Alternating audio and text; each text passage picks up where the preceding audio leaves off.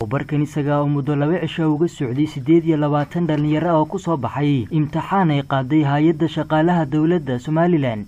Kadib markii wasaaradda dalxiisku soo xayeysiisay boosas ka bannaanaaday isla wasaaraddaasi ayaa maanta lagu soo gebagabeeyey isla gudaha hay'adda shaqaalaha dowladda waxaana halkaasi hadalka iska daba maray. Agaasimo ku-xigeenka hay'adda shaqaalaha ahna madaxa tababarada mustafa axmed agaasimaha guud ee hay'adda shaqaalaha iyo guddoomiye ku-xigeenka hay'adda shaqaalaha cabdikariin maxamed sharmaake axmed maxamed geele guddoomiyaha hay'adda shaqaalaha dowladda iyo wasiirka dalxiiska khadar xaaji yuusuf oo iyaguna halkaasi ka hadlay ayaa dhallintani ugu baaqay in si habsamil ay ugu shaqeeyaan dalkooda. Hankorin iyo hanaan tilmaamid sida aad u noqon karto shaqaalo wanaagsan oo qaranka qiimo iyo qurux ku soo kordhiya sida aqoonta iyo shaqadaad dhowaan bilaabi doonta ay u noqon doonto mid iftiinta oo qof ahaan iyo qaran ahaanba waxna tarta buu kulankani daaranaa ilaahay waxaa idinka rajaynayaa aqoontaa inaad ka faa'iidaysateen waxaan idinka idinka baryaana inaad noqoto aqoon aad isticmaashaan oo gundihi aad iyo aad hortiina uga mahad celinaya. Tartamayaashii idinla tartamay. Oo runtii dad hibo leh oo hanayn leh oo wanaagsan ahaa.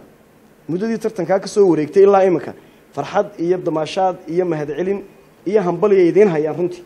Haddii aad maqashaan in laydin tuurtuuro mararka qaarkood ha dhibsanina. Markaa waxa weeyaan in aynu si daacada ah aanu wada shaqayno kii aan daacadnimo aan ku shaqaynaynaa dee wuu soo bixiyo odhan maayo waa ina hebeliyo. Odhanna maayo maxay ahayday bal waa la farsamee wax. Iyo waxyaala kaloo fara badan.